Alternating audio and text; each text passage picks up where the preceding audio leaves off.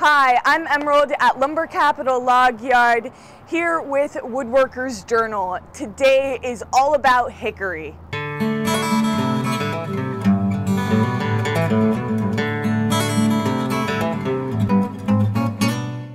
Woodworkers know it as being incredibly difficult to work with.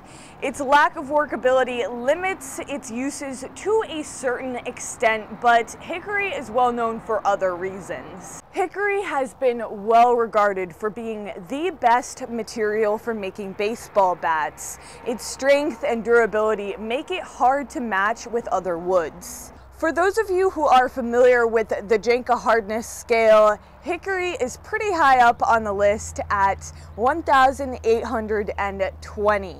This makes it one of the hardest woods native to North America. Its strength makes it ideal specifically for tool handles and flooring. Speaking of flooring, that's actually what we're going to be milling out of this hickory today. Come check out how it's done.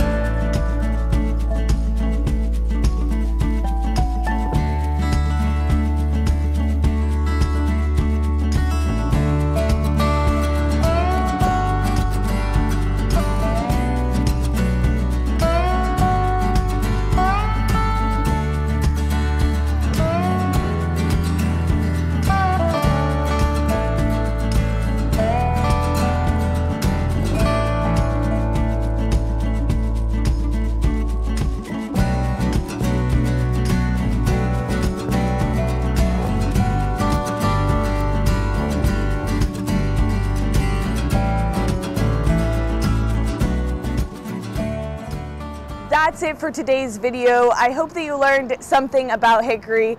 Thanks for watching and I'll see you next time.